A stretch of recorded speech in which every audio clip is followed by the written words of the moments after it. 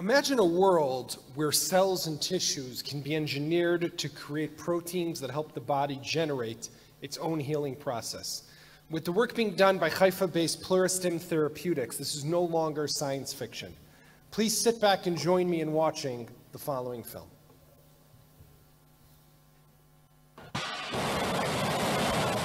Tensions high and getting higher on the Korean peninsula as the world anticipates another missile test from North Korea. An ultra-powerful stream of radioactive vapor releases uranium and graphite over hundreds of meters around the plant. It was a natural disaster that led to one of the worst nuclear accidents in history earthquake and tsunami that triggered a meltdown at Japan's Fukushima Daiichi nuclear power plant in 2011. Germany is becoming increasingly worried about neighboring Belgium relaunching nuclear reactors, fearing it could result in disaster.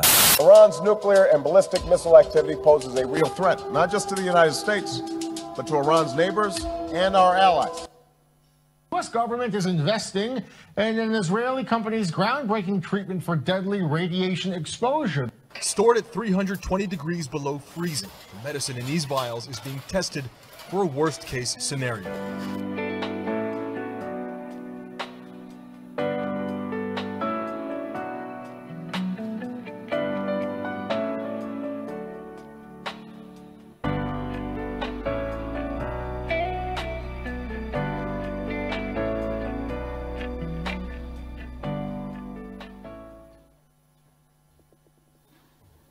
It's now my pleasure to call on Yaky Yanay, CEO and President of Pluristem Therapeutics.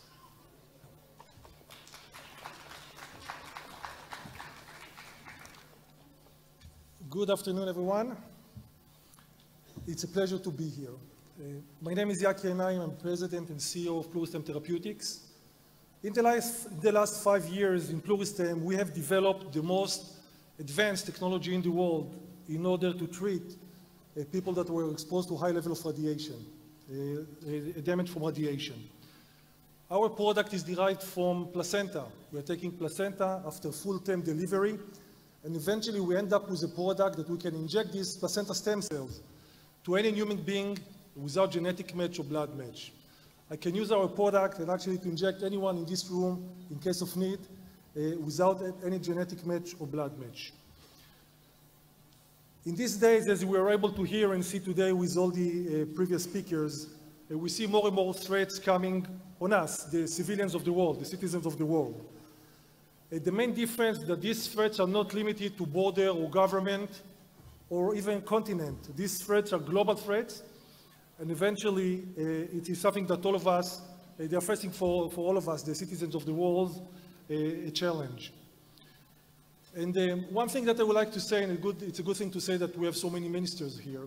We as citizens, and I am a citizen of Israel, I do expect from my government uh, to make sure that we are protected, to make sure that we are able to preserve and maintain the world as we know it and our civilization as we know it. Even in extreme conditions, like we're going to discuss, and as you were able to see in the video that we, we just, uh, we just uh, uh showed. And we are facing time of mixture. I mean, the, the, the, general population, all of us, as well as the combat units, the, the, the armed forces, are facing sometimes similar challenge, uh, challenges. And both of them and equally are uh, threatening challenges. And I think that this is our goal, that we need to make sure that we are developing new technologies, advanced technologies that protect, in one hand, the armed forces. These armed forces are going to be in location and places, and we know it quite well here in Israel, that they're going to uh, enter into a hostile environment and may face a, a, a, location that they need the protection of the technologies. But also all of us, as uh, citizens of our countries, we need to make sure, and our government have to make sure that we hold the technologies that will be able to protect uh, also as, as, uh, as, citizens. And one of the most terrifying threats, I think, for all of us, uh, that's, I think as human beings, that's a, that's a nightmare, is the nuclear threat. The nuclear threat, it's, they have the potential to cause a ma major damage, to kill thousands of people in the immediate, uh, in the immediate, uh, uh, um, uh in the immediate event, but it also have a longer, very devastating effect. And the nuclear threats can come from many, many, many, many challenges, as we know, as we all know. The obvious one that all of us see on the, on the news every day is unresponsible countries, as we see in North Korea now, that are actually threatening the world for missile attack of nuclear, catastrophe, nuclear, nuclear missiles. It can be also a nuclear threat that is coming from a dirty bomb that a terrorist will place in a very uh, populated uh, city. We are seeing the terror effect, the, the, the, terror threats also very relevant for the nuclear plants themselves. All of us remember what happened in Belgium just a year ago when there was a real, real threat for the nuclear reactor or from, from a terror attack. And there is also the, the normal reason. It can be from natural disaster like happened in Fukushima five years ago, that the reactor is melting, or just from the aging of, of the reactors. I assume that all of you in your countries are using reactors or, or nuclear reactors either for research purposes as well as for uh, uh, electricity, electricity or nuclear plants for manufacturing electricity. But one thing is very clear. No, we all think that we know how a nuclear event starts. Nobody knows how it's going to end, and we need to be prepared for that. And this is exactly what my company is doing in the last five years. In the last five years, we developed this product. I'm holding in my hand a vial that contains 100 million placenta cells that, as I mentioned, can be injectable to any one of you, of us, without any genetic blood match. We were able to demonstrate that if we inject the cells, we are able to increase survival after exposure to very high level of radiation from around 30% to close to 100%. We were able to, able to demonstrate to the regulators that our cells are assisting in recovery of the blood system of the, of the people that were exposed to radiation, as well as to protect the vital organ to make sure that we continue the survival of, of the population.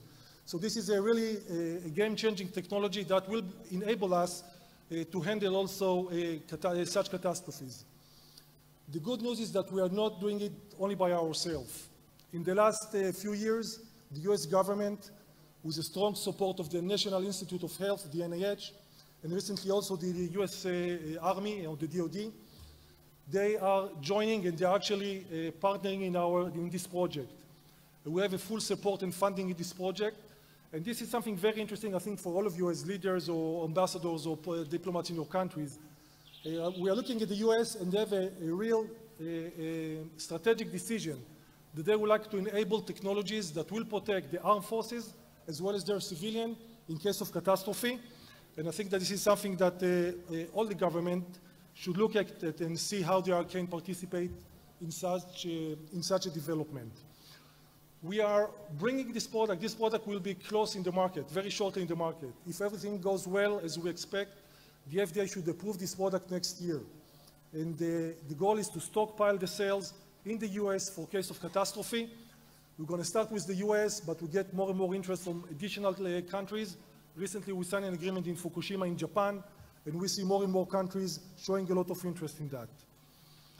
And I think it's not only about science and protection, it's a part of a global phenomena that I see, that all the democratic countries in the, in the world should start to work together. We have many, many challenges nowadays, and I think that we have enough threats on our country and our society on the way that all of us live. And the only way to overcome these threats is to work together and to join forces to develop a better, a better technologies for, uh, for all of us. I'm running a biotechnology company, so it means that I'm a very optimistic guy. But I think that we are seeing all these threats, and we heard a lot of discussion today. Uh, we should know that our world is probably in the best situation ever. The world is the safest place today ever, richest and well-fed ever in the history of the human being. But it means that it's our goal as, as leaders in our countries, business leaders, political leaders, it's our goal to make sure that we are protecting the, civil, the civilization as we know it today. It's not something that which is obvious, but it means that we have to develop more technologies, effort, science, and innovation to make sure that we are protecting the world uh, as we know it. And I think that this is the perfect place to call all of you, and uh, I will use uh, the Prime Minister words. You've seen the map. I mean, all of you representatives of different countries that are not cooperating with Pluristem or companies like us to develop a countermeasurement for threats like us, you are more than welcome to call me, not the Prime Minister. And uh, I'll be more than happy to cooperate on this one and to enable this advanced technology to your country, to your citizen, and uh, eventually to the entire world. Thank you very much.